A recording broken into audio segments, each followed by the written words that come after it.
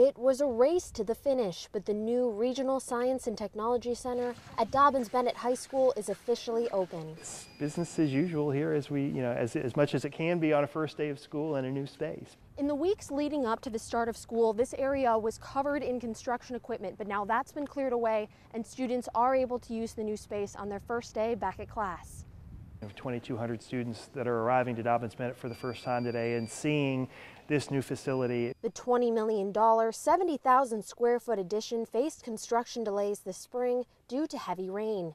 Freshman orientation had to be called off last week because parking lot construction wasn't complete. Uh, we felt it wasn't a safe environment for you know hundreds of cars to come onto campus for orientation. So we shifted that. You know, this first day it's been a lot of uh, helping students find where they needed to go. You know, new traffic patterns not only for foot traffic inside the building but also car traffic outside. Now that students are filling the new space, teachers can teach like never before. Chris Krautkramer has been teaching at Dobyns-Bennett for 17 years. Her new classroom is unlike any she's ever had.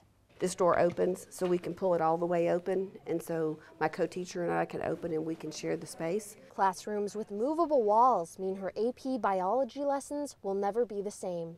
We have a technology enriched space right next door and so we can go over there. It's going to broadcast all around the room. The kids can be working on different things. Very techy.